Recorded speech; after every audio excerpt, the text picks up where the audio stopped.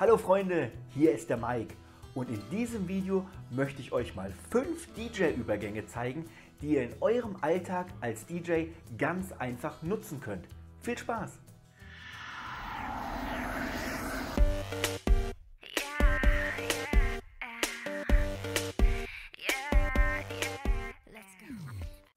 Fünf verschiedene DJ-Übergänge.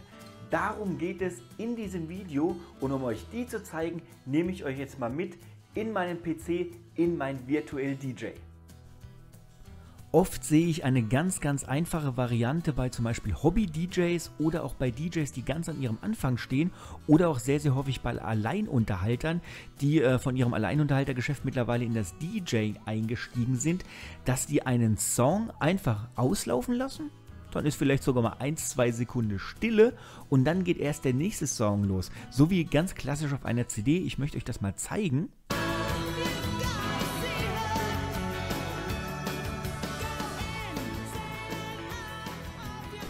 Die lassen den Song jetzt hier einfach auslaufen und dann ist da vielleicht sogar noch 1, 2 Sekunden Stille mit dabei und erst dann starten sie den nächsten Song.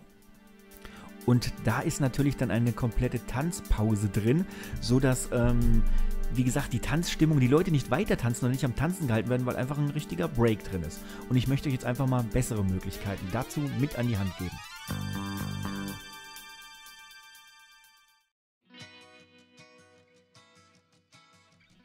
Möglichkeit Nummer 1 ist das ganz einfache Ausfaden von Titel 1 und das gleichzeitige Einfaden von Titel Nummer 2.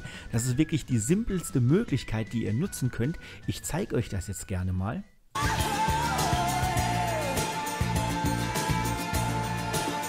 Hierzu wird einfach der erste Titel ausgefadet und während er ungefähr bei der Hälfte bis drei Viertel ist, fadet man den zweiten Titel einfach nahtlos mit ein.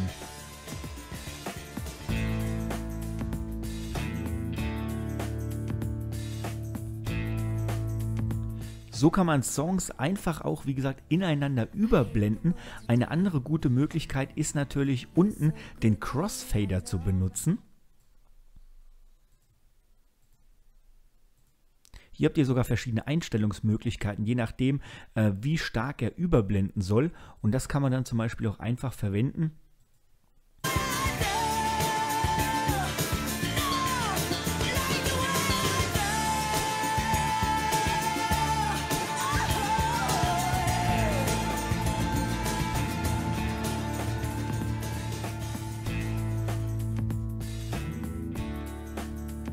Wie gesagt, die einfachste und simpelste Möglichkeiten, um zwei Songs miteinander zu verbinden.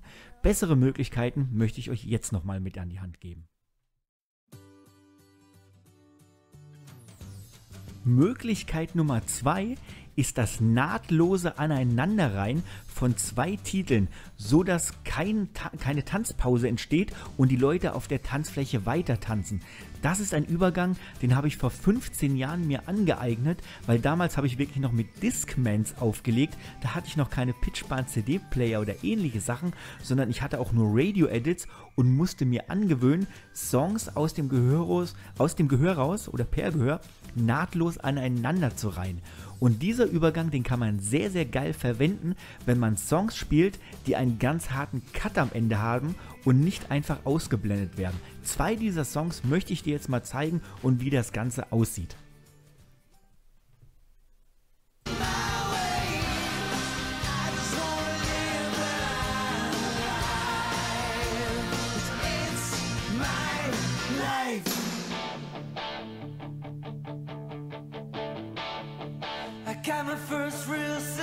Ihr habt gemerkt, da war gar kein Break mit drin, sondern den Song, den haben wir einfach direkt mit dran gehängt. Und weil der eine Song halt ein ganz hartes Ende hat und der andere natürlich mit einem Hammer mit reingeht, kann man diese Songs verwenden, um sie einfach nahtlos aneinander zu reihen. Das ist äh, zum Beispiel eine sehr, sehr gute Möglichkeit, gerade im Rockmusikbereich. Eine weitere gute Möglichkeit ist der sogenannte Hard Cut. Dafür nutzt man einfach bestimmte Stellen in Liedern, wo ganz kleine Pausen drin sind, um da einen Break zu machen und einfach nahtlos mit dem nächsten Song zu starten. Dazu muss man allerdings seine Musik wirklich sehr, sehr gut kennen, die einzelnen Lieder, wie sie aufgebaut sind und welche Songs solche kleinen Pausen beinhalten. Zwei dieser Songs möchte ich dir mal zeigen, wie das Ganze zum Beispiel aussieht.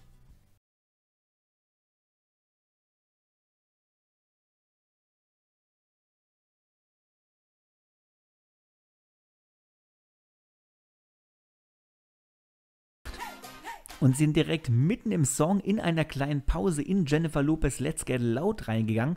So haben wir die Dynamik und die Power auf der Tanzfläche beibehalten und haben trotzdem einen nahtlosen Übergang gemacht, so dass die Gäste auf der Tanzfläche auch einfach weiter tanzen können.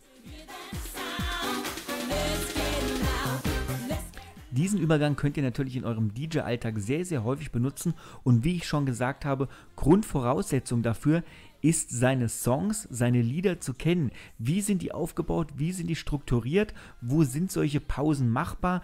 Das kommt nicht von hier auf jetzt, sondern das muss man sich, wie gesagt, über Monate oder Jahre angewöhnen, weil man erst seine Musik dafür kennenlernen muss.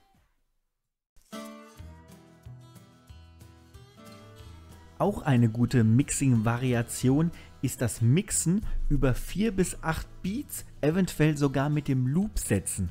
Das heißt aber, hier ist schon Grundvoraussetzung, dass ihr zwei Songs habt, die mit der gleichen Geschwindigkeit laufen. Entweder pitcht ihr die aneinander, ihr synkt die aneinander, zumindest ist Grundvoraussetzung, dass die hier dieselbe Geschwindigkeit haben. Ich zeige euch das mal mit äh, Prince und Kiss und mit Billie Jean von Michael Jackson. Übrigens habe ich dazu schon ein anderes Video gemacht, wie ich diesen Übergang wirklich im Detail mache, mit allen Variationen. Die findet ihr direkt in einem anderen Kanal. Jetzt hier möchte ich euch nur mal eine schnelle, kurze Version zeigen.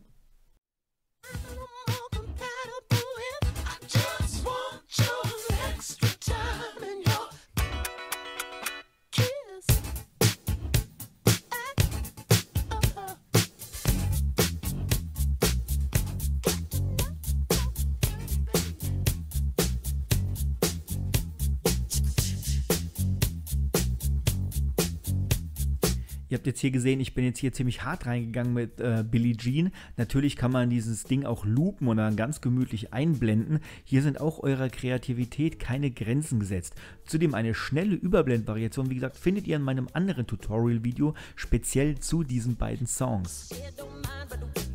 Und hier das Ganze jetzt nochmal ein wenig smoother.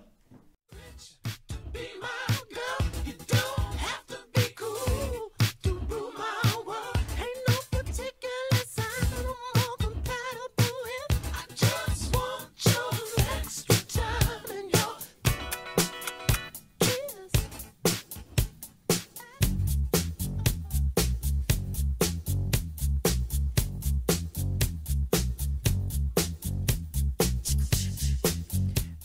eine sehr gute Möglichkeit, das zu machen, indem ihr einfach Loop setzt und wie gesagt den anderen Song mit einblendet.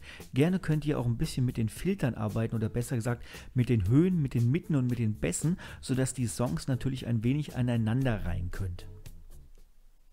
Auch hier hilft einfach nur ausprobieren, testen, üben, üben, üben und der Kreativität sind hier natürlich auch keine Grenzen gesetzt. Wichtig bei solchen Übergängen ist natürlich auch, dass ihr den Song, den ihr als erstes spielt, nicht direkt schon nach 20 Sekunden oder nach einer Minute ausblendet, sondern der Song, der geht ja dreieinhalb Minuten. Lasst die Gäste eine Zeit lang auf den Song tanzen, sodass sie sich auf den Song natürlich auch dran gewöhnen können und auch drauf einsteigen können. Ich erlebe das immer häufiger, gerade jetzt in der modernen Zeit, dass wichtige Songs nicht mal mehr 20 Sekunden laufen und dann direkt schon der nächste Song reingeknallt wird. Da geiert zwar der DJ, weil er mit seinen Mixing-Künsten angibt, für den Gast selber ist das aber wirklich sehr, sehr schwer, weil er keine Möglichkeit hat, sich auf einen Song, den er kennt, einzustellen und auch darauf tanzen zu können. Und eine weitere gute Möglichkeit ist das Mixen von Songs über einen längeren Zeitraum. Das wird zum Beispiel bei House Music oder elektronischer Musik sehr, sehr häufig verwendet, weil hier die Songs nahtlos ineinander übergehen, übergehen und man gar nicht mehr hört, wo fängt der erste Song an und wo hört er genau auf, weil hier auch ein bisschen mit Höhen, Mitten und Tiefen gespielt wird und die Songs so ineinander gedrückt werden und auch ein bisschen darauf geachtet wird, wann geht das eine Instrument zu Ende, wann fängt vielleicht dasselbe oder ein ähnliches Instrument im nächsten Song mit an, äh, wieder an, sodass man auch diese einzelnen Instrumente oder Frequenzen aneinander rein kann. Ich habe da mal was vorbereitet und das möchte ich euch jetzt genau zeigen. Ähm, den ersten Song stellt euch jetzt einfach mal vor, der läuft schon eine Zeit lang, auch wenn ich den jetzt einfach mal hier einblende. Der ist drin und den zweiten Song mixen wir das einfach mal rein.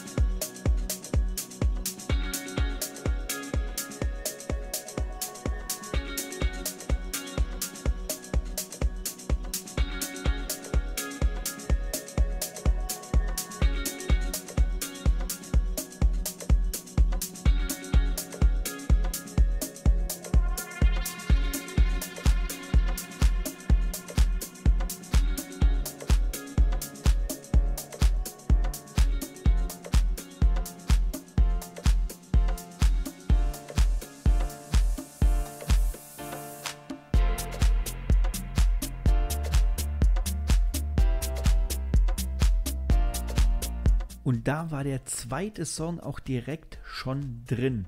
Ihr habt gemerkt, ich habe ein bisschen mit den Höhen, Mitten und Bässen gespielt. Da sind eurer Kreativität aber keine Grenzen gesetzt. Also das macht jeder DJ anders. Der eine lässt den Bass drin, der andere blendet ihn bei dem zweiten Song erst ein. Da müsst ihr einfach ein bisschen ausprobieren, was eure Favoriten sind, was für euch am besten klingt. Das ist auch von Song zu Song kann das ganz, ganz unterschiedlich sein. Probiert einfach aus. Hier macht Übung wirklich den Meister. Deswegen üben, üben, üben und diese Übergänge einfach öfter probieren, sodass ihr ein Feeling für kriegt und einfach ein Gefühl für die Musik und für diese Übergangsmethode. Lieder ineinander zu mixen, das sogar noch in der richtigen Reihenfolge, das ist die Kunst des DJings. Wenn du DJ bist oder einer werden willst, aber zum Beispiel bisher kein Instrument gespielt hast, dann sind dir Tonarten wahrscheinlich eher fremd.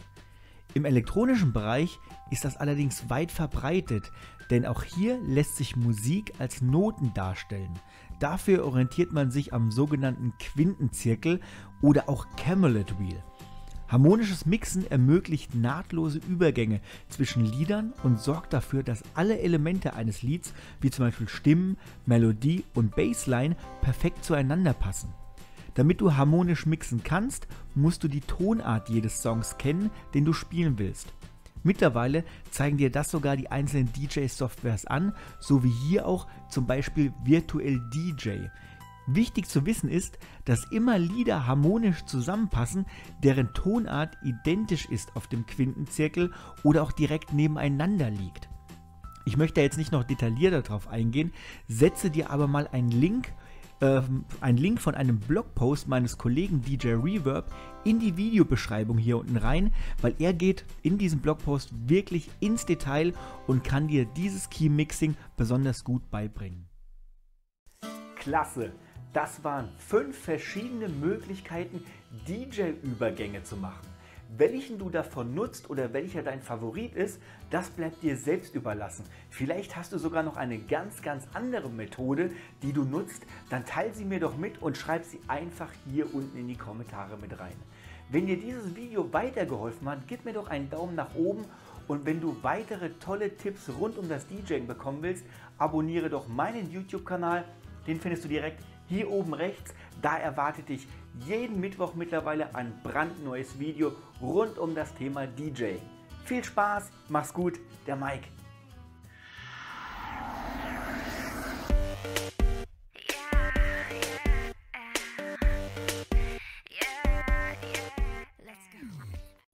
Hallo Freunde, hier ist der Mike und in diesem Video möchte ich euch mal fünf Übergänge Hallo, hier ist der Mike und in diesem Video möchte ich euch mal fünf DJ-Übergänge zeigen, die in ihr, die... Ich kann nicht sprechen. Was ist denn da los, Mann? Hallo, hier ist der Mike